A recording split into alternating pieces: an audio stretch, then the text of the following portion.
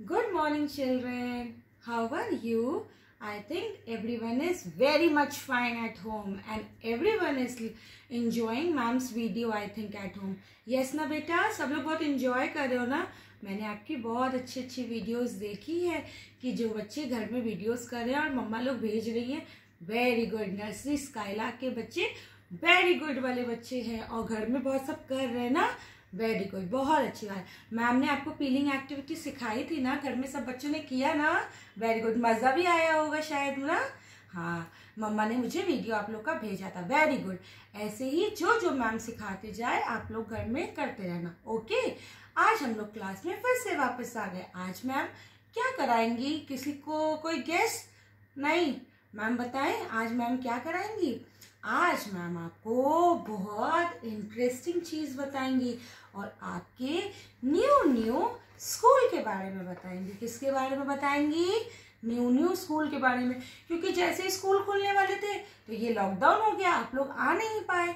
तो आज मैम आपको स्कूल की फ़ोटो दिखाएगी कि ये देखिए कितना ब्यूटीफुल बिल्डिंग है आपके स्कूल का और कितनी ब्यूटीफुल कलरिंग की हुई है। है ना स्कूल का फ़ोटो? हाँ। आज मैम आपको बताएँगी कि ये क्या है? ये क्या है? स्कूल। क्या है? स्कूल अच्छा what is the name of your school आपके स्कूल का नाम क्या है? भवदीय पब्लिक स्कूल कोई आपसे पूछेगा ना कि बेटा आप कहाँ पढ़ने जाते हो? आपके स्कूल का नाम क्या है? तो आप क्या बताओगे? My school name is Bhavdiya public school अच्छा अब हम स्कूल क्यों जाते हैं? क्यों जाते हैं स्कूल किसी बच्चे को पता है?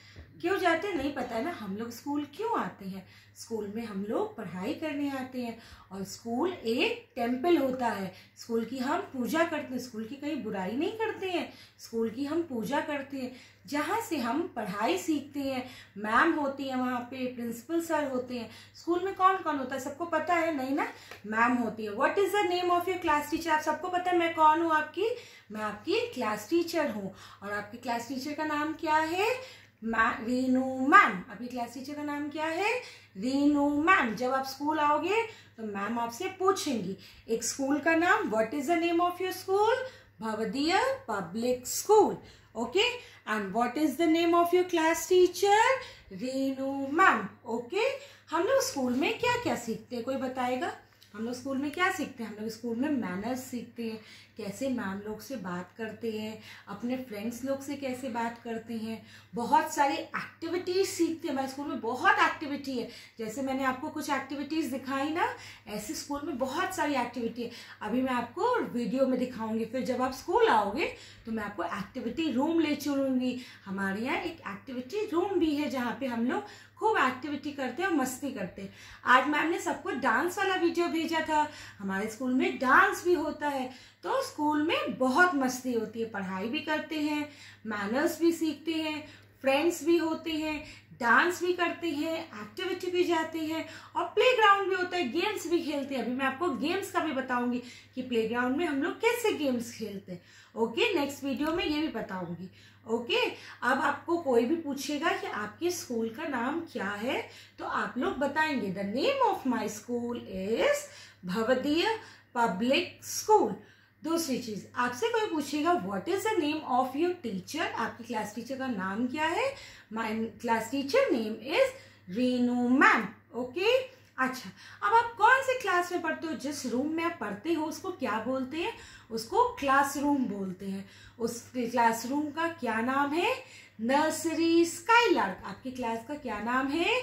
नर्सरी स्काईलार्क ठीक है? घर में सब लोग मम्मा से ये थ्री क्वेश्चन घर में लर्न करेंगे।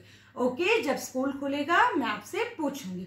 ओके ये है आपके माई स्कूल के बारे में चीज़ें, जो जो मैंने आपको बताया ओके ओके चलो आज मैं आपको एक और चीज़ कराऊँगी, और बहुत इंटरेस्टिंग और बहुत मस्ती वाली चीज़। देखो, आज मैम आपके लिए क्या लाई है? क्या है ये? सबको पता है ना? टिफ़िन है। मगर हम लोग लंच नहीं करेंगे, हम लोग डायरेक्ट लंच नहीं करते। लंच से पहले हम लोग कुछ हेल्दी चीज़ें खाते हैं स्कूल में। क्या पता है आपको? हमारे यहाँ स्कूल में पहले फ्रूट ब्रेक होता है एक पीरियड। सर्किल टाइम के बाद फ़र्स्ट पीरियड के बाद फ्रूट ब्रेक होता है। फ्रूट ब्रेक में हम लोग बहुत इंटरेस्टिंग सी एक पोएम करते हैं। कौन सी बताए? बच्चे लोग करेंगे? ओके चलो हम लोग करते हैं। Fruits are good for health. Fruits are good for health. Crunchy munchy oh, oh. Crunchy munchy oh, here apple there apple here apple there apple.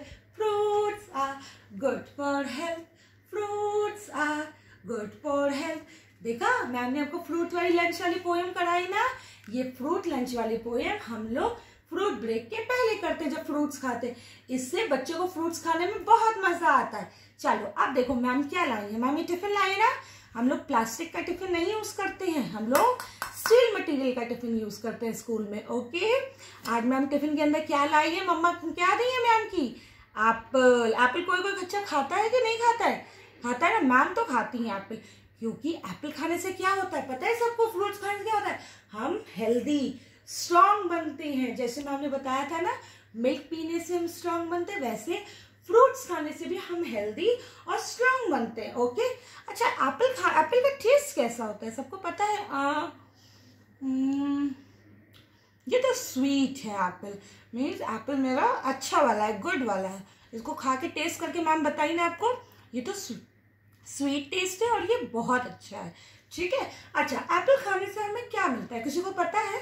नहीं ना? एप्पल खाने से हमारे चीज़ एकदम रेड रेड हो जाते हैं. देखो मैम के रेड हो रहे हैं ना एप्पल हम लोग को घर में रोज खाना चाहिए, ओके? अच्छा और एप्पल खाने से है क्या होता है? Apple a day keeps you doctor away. अगर आप एप्पल खाओगे तो डॉक्टर के पास इंजेक्शन लगवाने नहीं जाना पड़ेगा। इसीलिए सब लोग घर में, मम्मा, जो भी फ्रूट दे वो फ्रूट खाएँगे। फ्रूट नहीं खाओगे तो आप वीक हो जाओगे। और फिर मम्मा रोज डॉक्टर के पास ले जाएगी। इंजेक्शन लगेगा, ये होगा, वो होगा।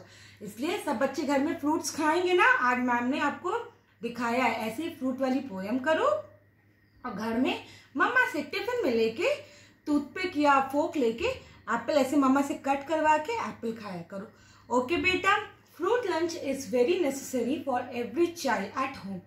Okay parents, make your child to eat fruit so that कि he can learn how to eat fruits at home also and make your child to learn about my school. Okay? Chalo beta. Bye. Okay meet you soon